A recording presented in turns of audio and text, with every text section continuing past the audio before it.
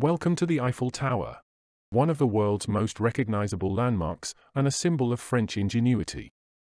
Erected in 1889 as the centerpiece of the Exposition Universelle, or World's Fair, it was initially criticized as an eyesore. Despite its detractors, the Eiffel Tower has stood tall for over 130 years and succeeded in capturing the hearts and imaginations of millions of visitors from around the world. Come along as we delve into the fascinating history, design, and construction of this iconic monument. From its humble beginnings as a temporary structure to its status as one of the world's most popular tourist destinations, the Eiffel Tower has endured as a testament to human ambition and creativity. So, let's take a closer look and discover what makes this engineering marvel truly one of a kind. The year was 1886, and a World's Fair had been scheduled to take place in Paris three years later, in 1889. It was intended to commemorate the 100th anniversary of the French Revolution, and the organizers wanted to do something big. Very big indeed. A competition was announced for someone to build a tower. Something with a square base, 125 meters wide and 300 meters high. In 1886, a height of 300 meters would make it taller than any man-made structure on Earth. This competition was an opportunity for the Eiffel Company, founded by engineer Alexandre Gustave Eiffel. At the time, the company specialized in building bridges, but Eiffel had recently supervised the construction of another iconic monument, the Statue of Liberty. Two of his engineers, Émile Nouguier and Maurice Koechlin, drew up the initial designs. They imagined a tower with four latticed feet, spread apart at the base and joined at the top like a pylon, and linked together by metal beams arranged at regular intervals. Architect Stephen Sauvestre reworked the design, making it a bit more ornate, and it was this revised design that received the seal of approval from Eiffel. He submitted the team's design to the competition, where it was selected from a pool of more than 100 other entries as the winner. With a design selected, there was no time to lose. The ambitious structure needed to be completed in just over two years in order to be ready for the World's Fair in May of 1889. On January 26, 1887, they broke ground on the project, but its construction would be plagued with difficulties. Not long after construction began, a letter signed by famous artists and writers was published, protesting they argued that the tower was a monstrosity and an eyesore that would mar the beautiful Parisian skyline. The letter read in part We, writers, painters, sculptors, architects, and passionate devotees of the hitherto untouched beauty of Paris, protest with all our strength, with all our indignation in the name of slighted French taste, against the erection of this useless and monstrous Eiffel Tower. To bring our arguments home, imagine for a moment a giddy, ridiculous tower dominating Paris like a gigantic black smokestack. All of our humiliated monuments will disappear in this ghastly dream. And for twenty years, we shall see stretching like a blot of ink the hateful shadow of the hateful column of bolted sheet metal. The mention of 20 years is because the Eiffel Tower was originally intended to be a temporary structure. To stand for 20 years and then be disassembled. Eiffel, however, did not back down and responded to the criticism by comparing his tower to the Egyptian pyramids. My tower will be the tallest edifice ever erected by man, he said. Will it not also be grandiose in its way? And why would something admirable in Egypt become hideous and ridiculous in Paris? Others complained that it was a waste of money and resources. This opposition had little effect on the construction of the tower, which was after all, already started. The reality of building such a massive structure in such a short time was much more challenging.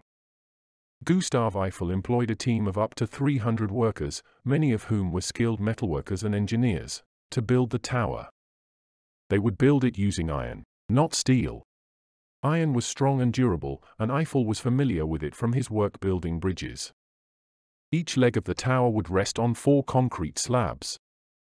Laying the slabs for the east and south legs, were simple. The foundations for the west and north legs proved to be more difficult. They were closer to the River Seine, where the ground was softer. Each slab on those sides had to be supported by two concrete piles driven to a depth of 22 meters. Once all the slabs were in place, they were each capped by a block of limestone with an inclined top, that held a supporting shoe for the ironwork. The foundations were completed on June 30th, and the construction of the ironwork began. The framework of the tower rose incredibly quickly, thanks to prefabrication in Eiffel's workshops that had been going on in the six months that it took to complete the foundations. More than 18,000 different parts were needed, and the drawing office made thousands of detailed drawings, allowing them to plan each one. The drawings were complicated by the complex angles involved in the design and the degree of precision required. For example, the position of rivet holes had to be specified to within 1 millimeter. Some sections of the tower were assembled in the factory, and then transported by horse-drawn cart to the construction site to be bolted together into even larger pieces. If any part did not fit, it was sent back to the factory for alteration, as no drilling or shaping was done on site. During construction, the bolts would be replaced by rivets. A total of 2.5 million of them. Safety, both of the tower itself and of the workers who were building it, was a primary concern. Eiffel, familiar with the stresses faced by bridges, had mathematically calculated a curve to offer the best wind resistance. As he said, all the cutting force of the wind passes into the interior of the leading edge uprights. Worker safety was a high priority as well. A major objection to the construction of the tower was that it would be impossible to create without sacrificing the lives of many workers, due to the heights at which they would be working. Eiffel, determined to avoid deaths and injuries among his workers, implemented a series of safety measures designed to prevent them. Wooden platforms with high edges were built wherever possible, both to prevent workers from falling, and, almost as important, prevent tools from falling onto others working below. Guardrails were also put in place. Although the safety measures were basic compared to modern standards, they were considered quite progressive at the time. Due to the care taken to prevent accidents, only one death was associated with the tower's construction. To build the tower, the workers first constructed four enormous legs, each made up of large pieces of iron that were bolted together. The legs were then joined together at the first platform, which was located around 57 meters above the ground. From there, workers began to build the central section of the tower, which tapered inwards as it rose towards the top. As the tower rose higher, the difficulty of raising the pieces into place increased. The builders were forced to implement innovative construction techniques. Mobile cranes were mounted to rails that would later support the lifts, and specially designed hoists were used to transport materials up to the higher levels of the tower. Another key innovation used during the construction of the tower was the use of movable scaffolding that could be raised or lowered as needed. This scaffolding was essential for the construction of the tower's intricate latticework design, which required workers to be able to access every part of the structure. With the challenges of construction well in hand, there was just the little matter to consider of how visitors were expected to view the tower. While some people might climb the stairs to the first platform, it was unlikely that many would be willing to climb to the top. Instead, a series of lifts would be installed to carry passengers up the edifice. At the time, elevators were a cutting-edge piece of equipment.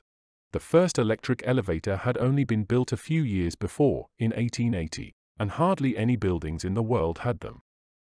The question of how they could be incorporated into a massive 300-meter tower was not simple. Rather than installing electric lifts, Eiffel decided to use hydraulics. The first level lifts were relatively straightforward to construct. The legs of the tower were wide enough to contain a straight track. Two lifts were installed in the east and west legs using chains with articulated links, and lead weights counterbalanced most of the car's weight. However, installing lifts to the second level proved to be more challenging, as a straight track was impossible. Eventually, the contract to build them was awarded to Otis in July of 1887. They designed a lift with two compartments, each holding 25 passengers, and an inclined hydraulic ram to provide the motive power. The lift operator occupied an exterior platform on the first level, and the hydraulic pressure was produced by a large open reservoir on the second. The journey between the second and third levels required yet another kind of lift, and French engineer Leon Edoux was commissioned to design it. He came up with a unique solution involving a pair of hydraulic rams mounted on the second level. One lift car was mounted on top of these rams, and cables ran from the top of this car up to sheaves on the third level and back down to a second car. Each car, which weighed 10 tons and held 65 passengers, traveled only half the distance between the second and third levels. Passengers were required to change lifts halfway by means of a short gangway. This lift system was a marvel of engineering in its own right. As the tower began to take shape, it became a symbol of France's engineering prowess and technological advancement, and some people who had previously objected began to come around. As construction pushed higher and higher, new challenges appeared. High winds made working at the top of the tower difficult and dangerous, and workers also had to contend with extreme temperatures during the summer and winter months. Despite these difficulties, construction of the tower continued at a record-breaking pace. As 1889 dawned, the workers raced to finish the tower in time for the World's Fair. By March, main construction of the tower was completed, and the French flag was hoisted to the top of the tower to celebrate. Over the following weeks, final touches were made to the tower, including the installation of the lifts and the painting of the structure in its iconic reddish-brown color. In the end, the Eiffel Tower took just over two years to build, being completed in two years, two months, and five days. Its construction was a triumph of engineering, innovation, and perseverance. Fully finished, the Eiffel Tower stood at a height of 300 meters, making it the tallest structure in the world at the time, a record it would hold for 41 years. The tower was officially dedicated on March 31, 1889, in a ceremony conducted by Gustave Eiffel and the French Prime Minister, Pierre Tirard. The Eiffel Tower was the centerpiece of the World's Fair, which began on May 6, 1889, but it also served as the entrance. Millions of people visited the fair, nearly 2 million of which came to see the tower. That's 12,000 people a day. Visitors to the fair were awestruck by the tower's sheer size and elegance. The tallest structure in the world, it rose to dizzying heights. The iron in the tower alone weighed 7,300 tons with the addition of the lifts, shops, and antennae that were installed later. It is estimated that the current weight of the Eiffel Tower is 10,000 tons or more.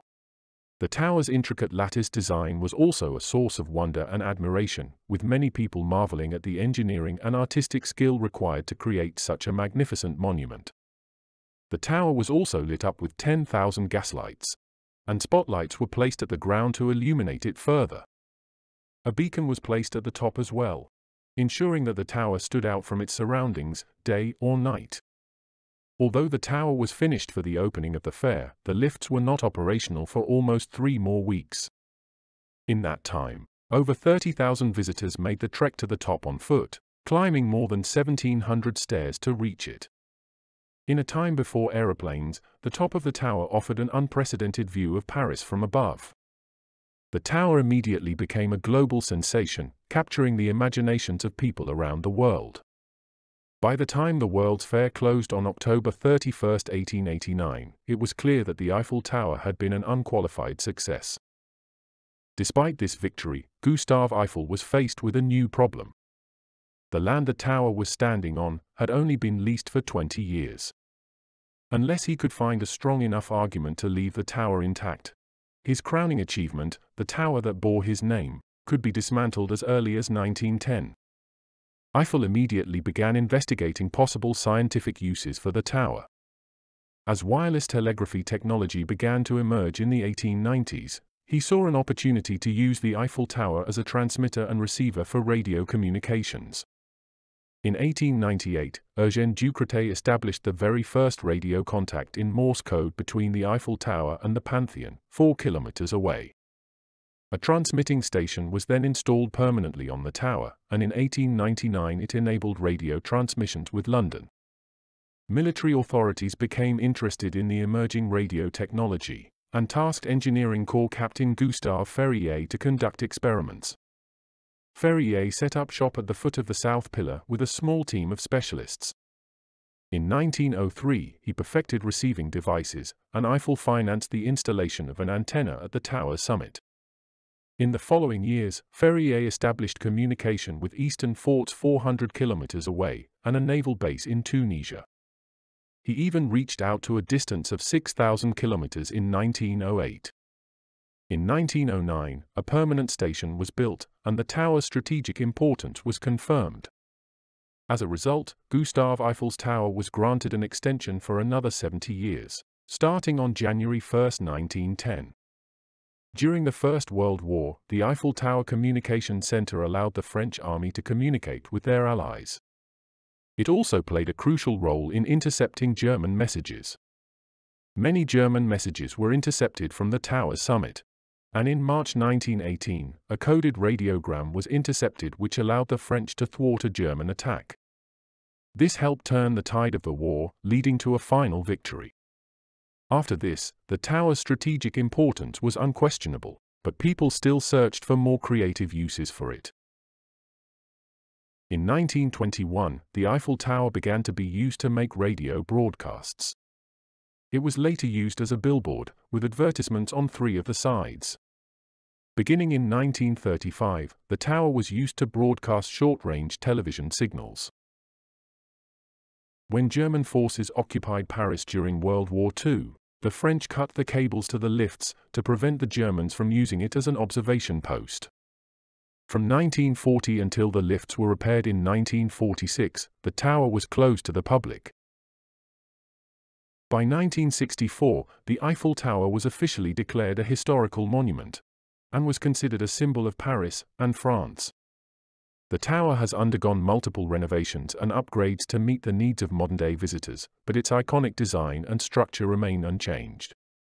The entire tower has to be repainted about every seven years. The original lifts have been replaced with more modern versions, and the gas lamps that originally lit the Eiffel Tower have been replaced by electric lights. Today, the Eiffel Tower attracts millions of visitors each year, and is said to be the most visited tourist attraction in the world. The tower is open to the public, and visitors can ascend to the first, second, and third floors for breathtaking views of the city. The first platform has a glass floor, allowing visitors to look down at the ground 57 meters below. The second floor has a large outdoor observation deck, while the third floor features an indoor observation deck, a champagne bar, and Gustav Eiffel's original office, which has been restored to its 1899 appearance.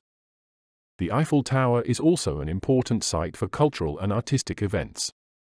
It is frequently illuminated at night with different colored lights to mark special occasions, and has served as a backdrop for fireworks displays, concerts, and other performances. In addition to its tourist and cultural functions, the Eiffel Tower also plays a key role in the city's infrastructure.